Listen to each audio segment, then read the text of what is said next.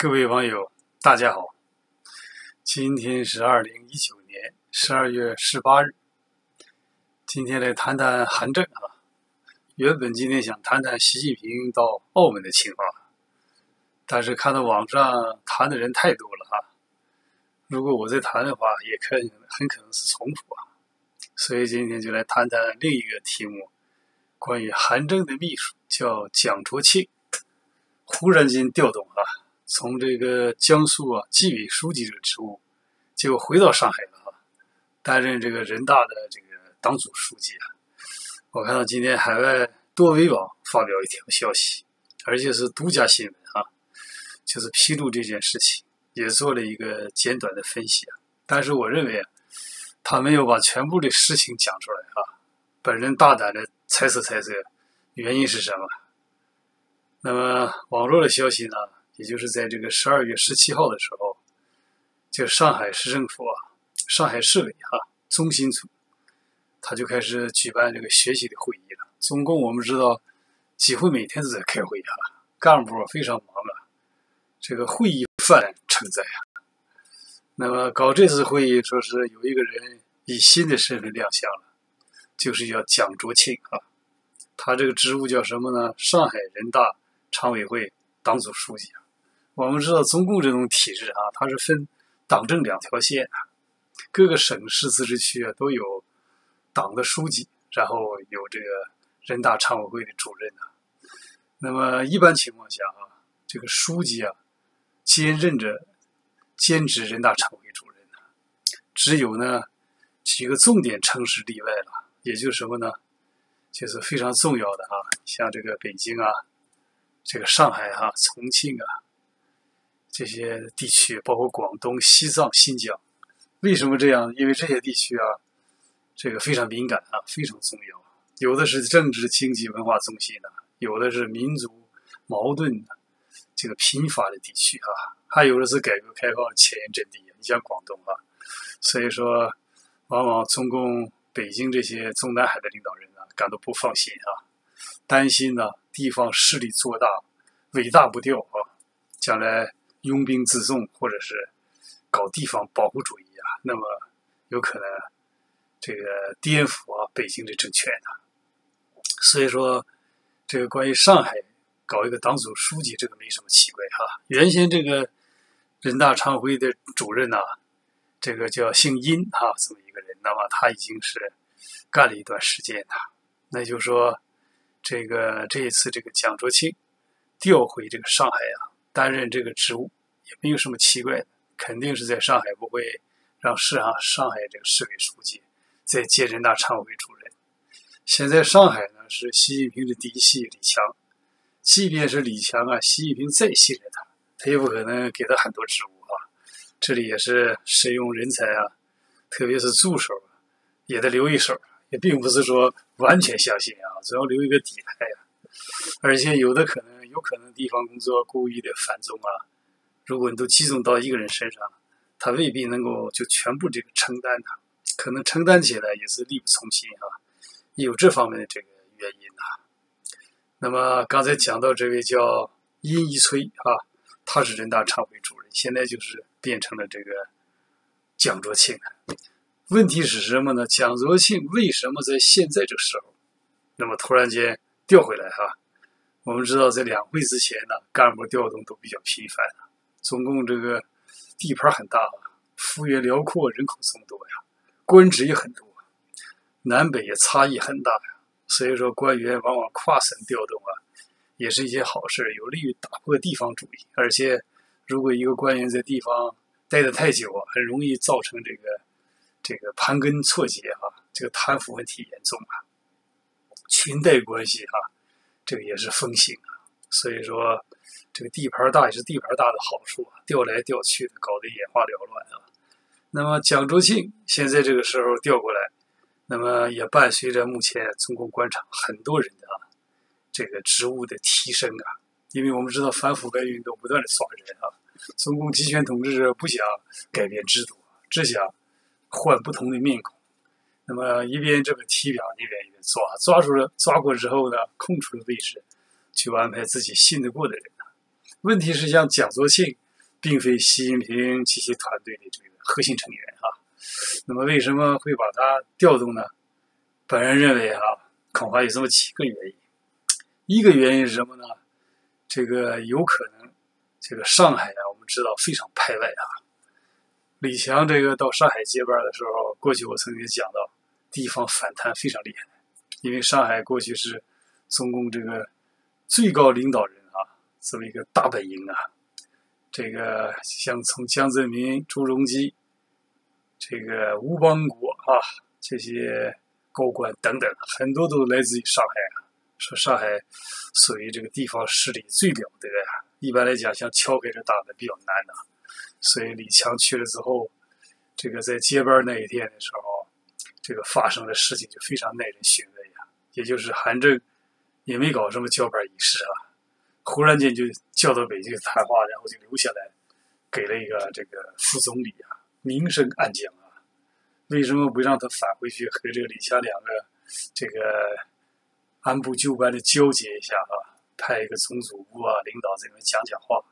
这就是因为什么？因为因为防止他这个忽然离开啊，这个在走之前如果有精神准备的话，会做一些中共集权统治者不太喜欢的事情啊。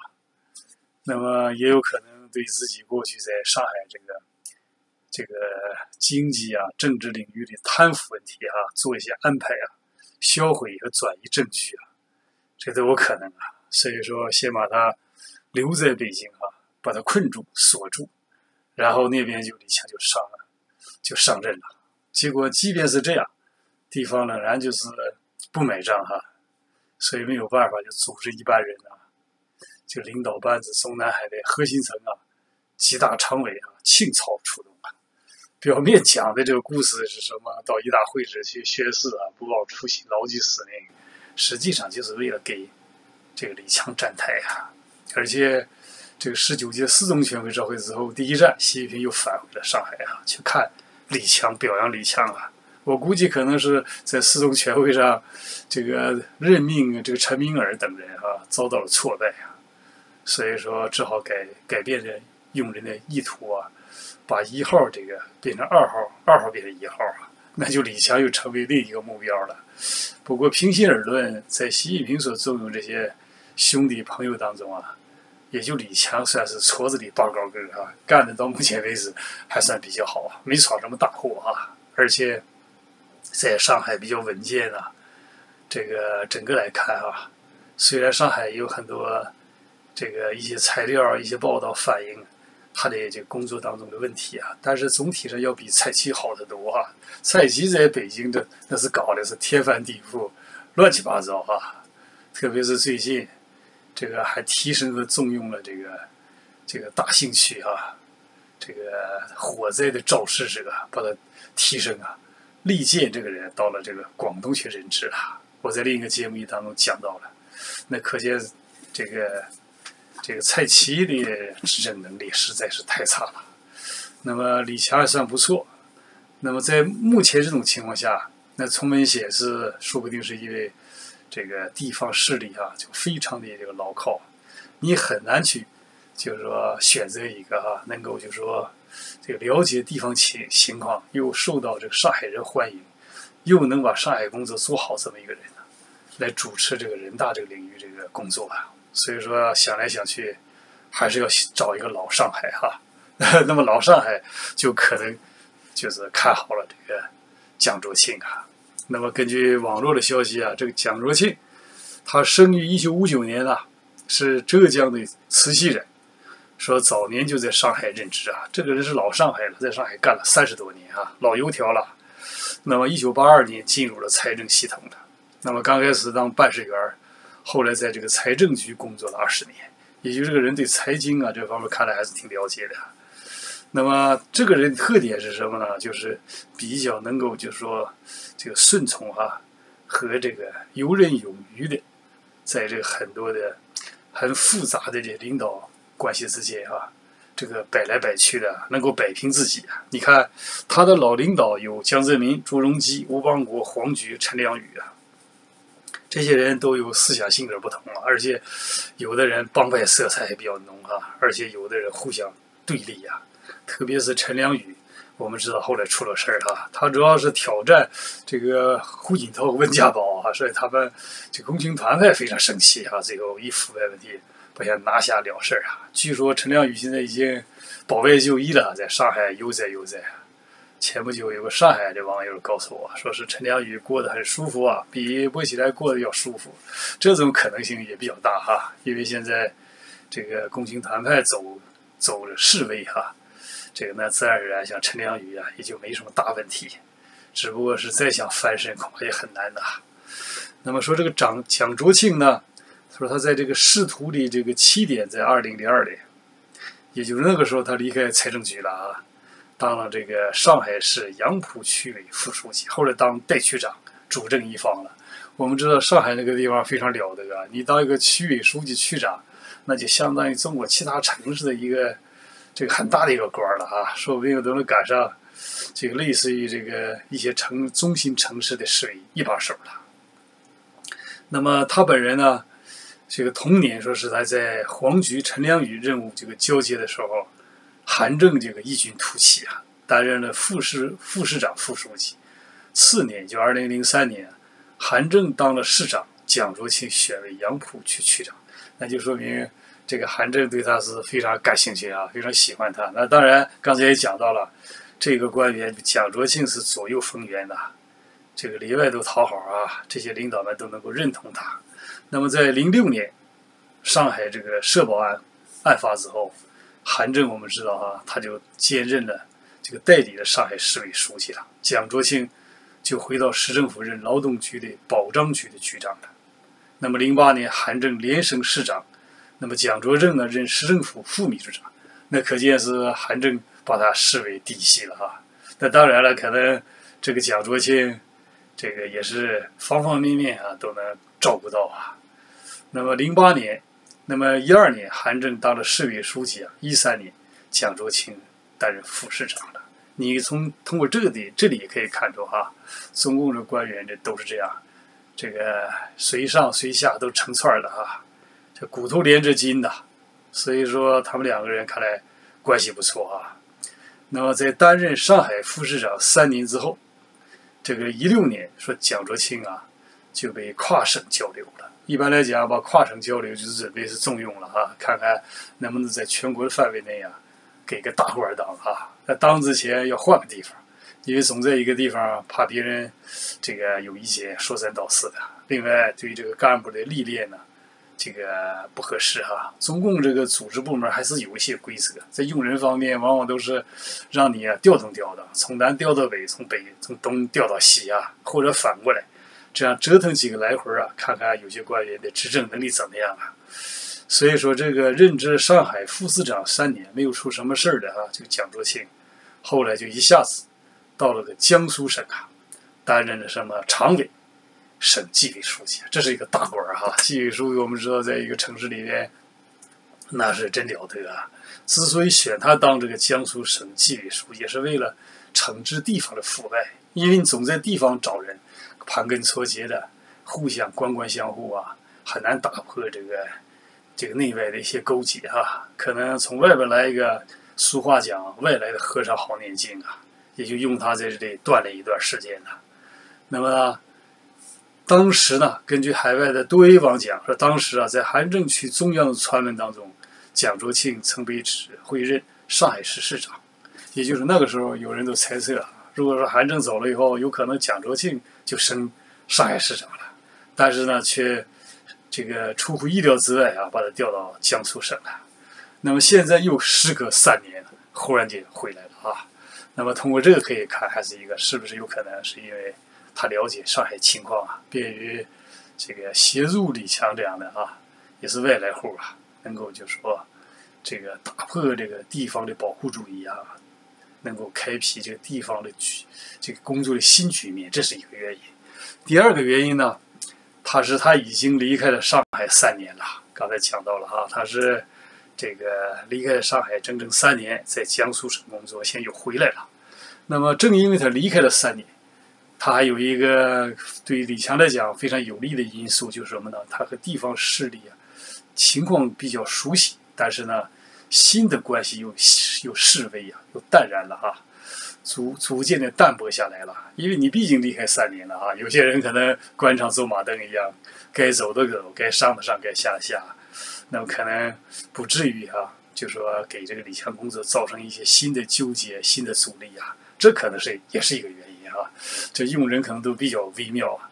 那么第三个呢，可能性，我认为也有一种可能性，这个李强及其团队啊，很可能要在上海啊打老虎树正气啊，树立自己的威望，很可能要把反腐的利剑呢指向着韩正啊。因为我们知道韩正在这个上海这个工作期间干了这数十年了，方方面面都是自己的势力啊。据网络的消息披露，说是他的太太。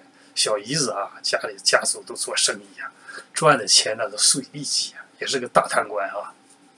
那么，之所以习近平当年把他忽然间留在北京，给了个副总理当着，也是为了安抚上海地方势力，也是也是为了这个这个对接哈，这个江泽民这个一些派系他们的一些要求啊，所以说也是不得已而为之啊。那么李强要想在上海站住脚，那肯定要反腐败。只有反腐败抓人抓的越大，自己的权威越厉害啊，一举两得。一方面可以安抚民心、顺应民情啊，另一方面又可以树立威望啊。所以说，也说不定正是要把这个蒋卓庆调回来，因为他了解韩正啊，把他调回来协助自己啊，这个继续深查这个韩正的这个问题、经济问题哈。也有一种可能，连这个蒋卓庆也不会放过啊！如果有腐败问题，先抓了，然后通过他啊检举揭发，然后顺藤摸瓜呀，一步一步再把这个韩正勾下来啊，这也很难说啊。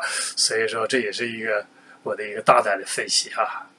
那么最后一种猜测哈，也有一种可能没有我们想这么复杂哈。原本都是风平风平浪静啊，说不定蒋卓庆是因为这个。怀念自己的家乡，想告老还乡了。因为这个蒋作庆呢，已经六十岁啊。那么，如果到这个上回到上海工作，担任人大常委会这个党组书记哈，那自然而然就可能就在上海就安度晚年了。说不定是自己多次写信呢，这个找人啊，拉关系啊，找这个组织部门要求回上海啊。所以上面考虑到他的具体情况啊，也就不如这种。把他从这个江苏调回来啊，到上海工作呀，或许是这个原因啊。所以不管怎么样，中共官场就是这样吧。